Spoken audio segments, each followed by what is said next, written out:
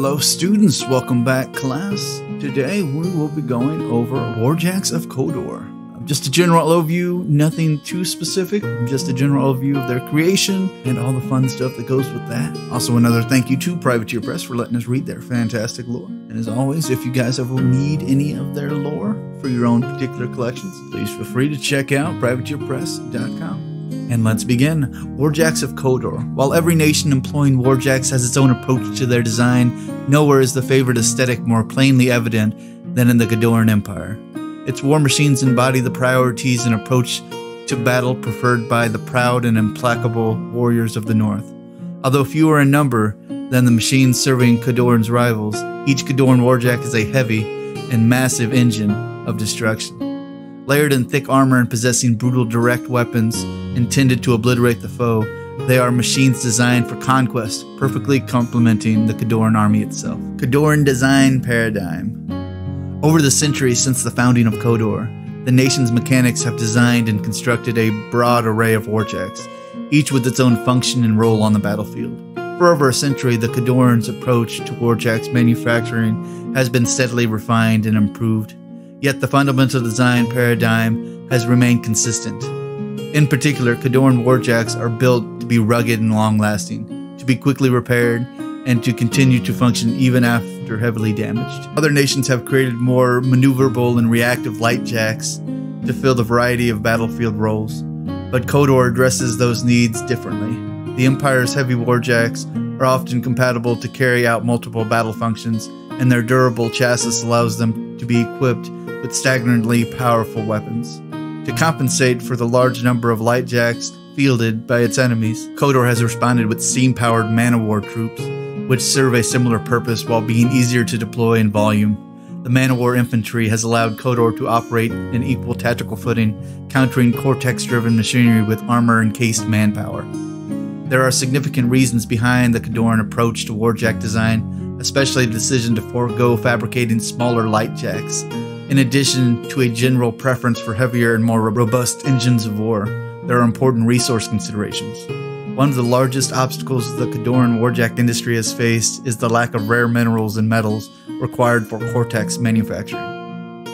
You know, I think the only warcaster you've ever seen running around with a light jack would be the witch, but I think she had to make her own. I, I don't think, I'm pretty sure she made her own because that definitely doesn't look like any Khadoran warjack I've ever seen. A cortex is the artificial brain inside every steam jack is by far the most specialized, expensive, and complicated of its system. Each are intricate and many layered metal spheres. Military grade cortexes are more sophisticated than their labor jack counterparts. Requiring greater quantities of rare and expensive elements, these resources are relatively scarce in Khador compared to the southern mountains, and so cortexes are at a premium it is top priority of the Khadoran military to get most out of every cortex it can produce to ensure each serves as long as possible and is also well protected against destruction in battle. The delicate arc nodes attached to warjacks employed by several of Khadoran's rivals require similar materials and are also costly and time consuming to produce. It has long been Khadoran's policy to eschew such devices in favor of maintaining military grade cortex production. Also, again, the old witch actually did attach an arc node to her scrapjack. So, again, sometimes just doing it yourself, you can get a hold of more interesting materials for just one. The Grey Lord Covenant, which is responsible for Khadoran Cortex manufacturing, prefers to employ a less advanced Cortex grade than its southern counterparts in the most of its warjacks for similar reasons.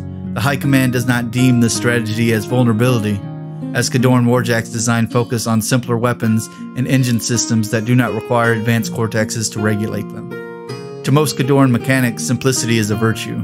They perceive some of the designs of their enemies to be heavily flawed due to their reliance on delicate systems with too many moving parts. Nothing gives a Khadoran mechanic more joy than to see an enemy warjack toppled under the blow of his own machines can endure without breaking stride. There are exceptions to this rule of simplicity, and Khador's arsenal does not include a few machines that utilize more complicated weapon systems. But such machines are highly specific roles or were created to counter a particular threat, and each has its share of problems, including the need of, for frequent maintenance and specialist mechanics. There is currently a growing divide between younger and older members of the Khadoran Mechanic Assembly on this topic. The more youthful engineers believe they must adapt or perish.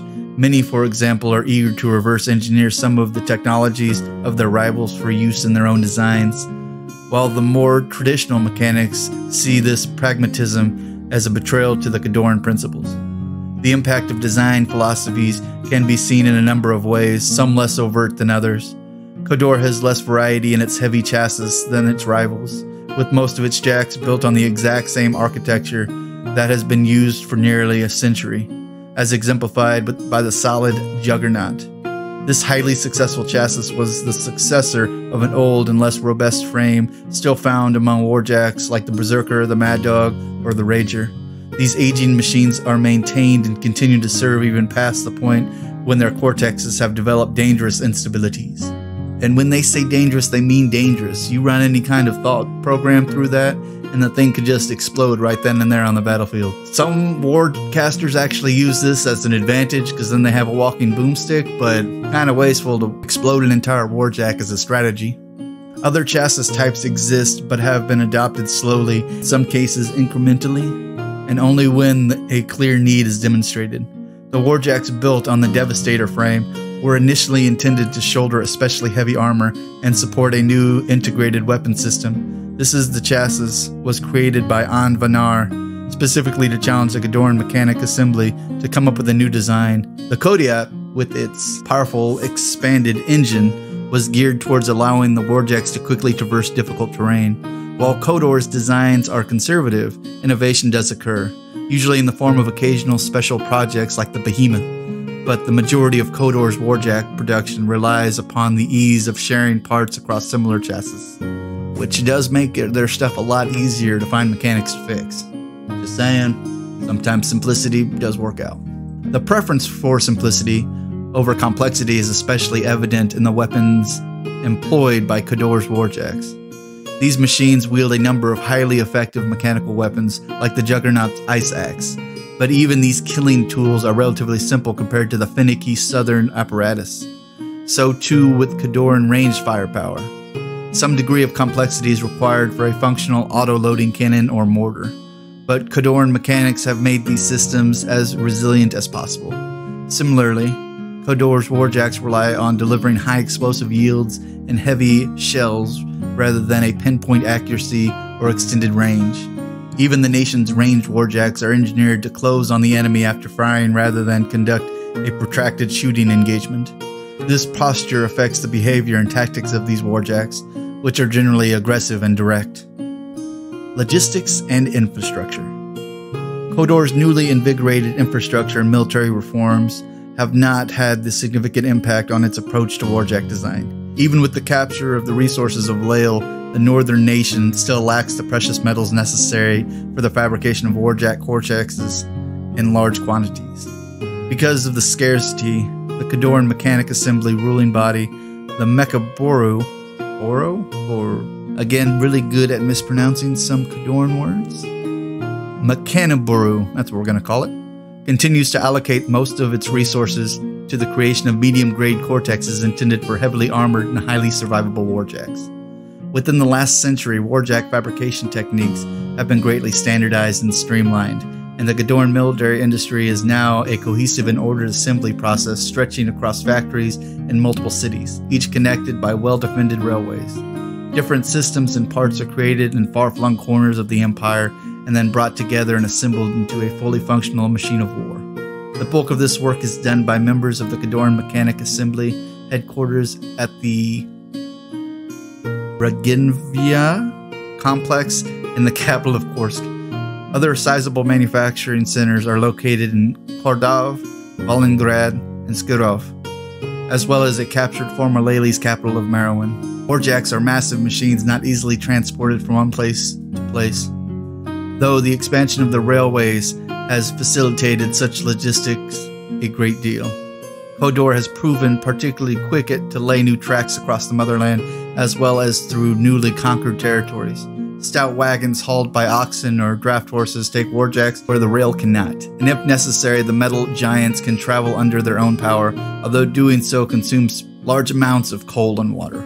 Ongoing war has forced the construction of new fire bases, forward positions at key points where ample supplies of coal, water, food, ammunition, and weapons are placed for resupply. As the front lines have shifted with the vicissitudes of war, more of these bases have been built to allow warcasters and warjacks to strike from wherever they are needed. Some fire bases become permanent fortifications as they expand into a true command post. A network of roads and resupply points stretches from the war front through occupied territories and ultimately to the center of production and industry deep within Khador's territories. Colossals. The last few years have seen a rise in new challenges and threats, forcing the High Command and the Regsvinya complex to adapt. Proving they were up to the task of quick thinking and innovation, Khadoran leaders began the emergency project and 608 AR to create the first Khadoran Colossal. The need to develop considerably larger warjacks, each carrying a correspondingly more impressive array of firepower, was in a reaction to intelligence brought by Khadoran spies. Alrighty, and like some of our other readings from the archives, look like we have a little side note here. Khadoran Warjack service markers.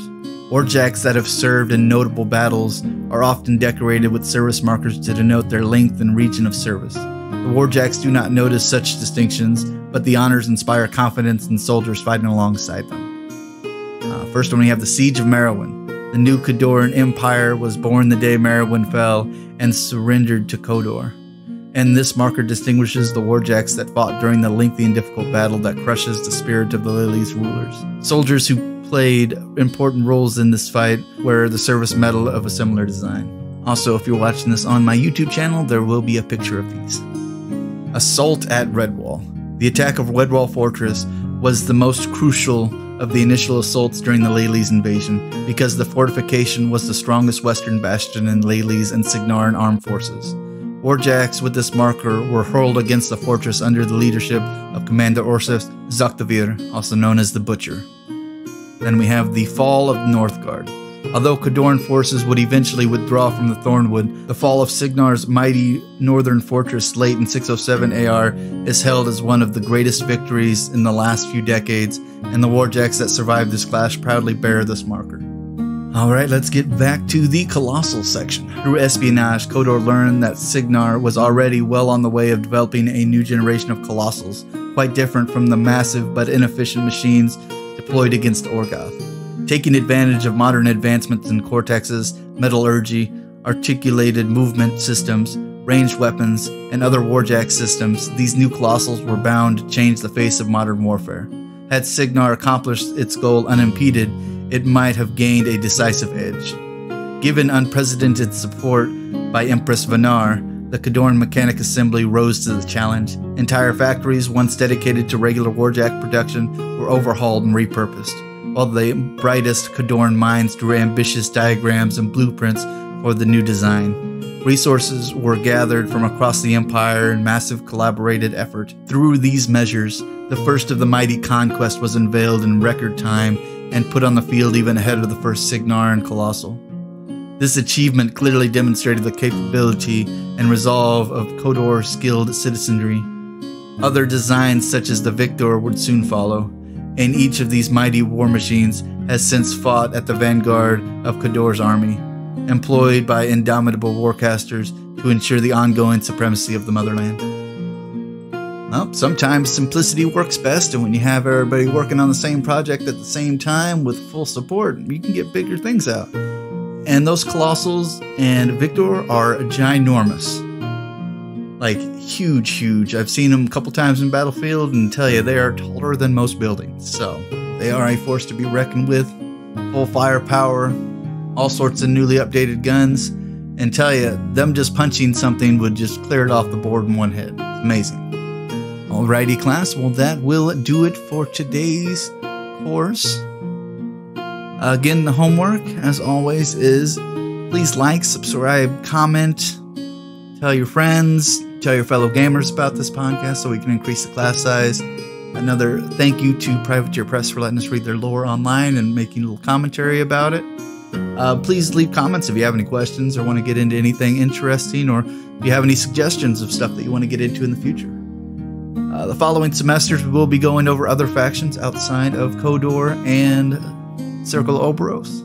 So, If you know what faction you want to get into next, let me know, and I will I will try to do those for you because I literally have every single archive book at my disposal for this course. So there's that. All right. Well, that does it, guys. As always, class dismissed. We'll see you next week.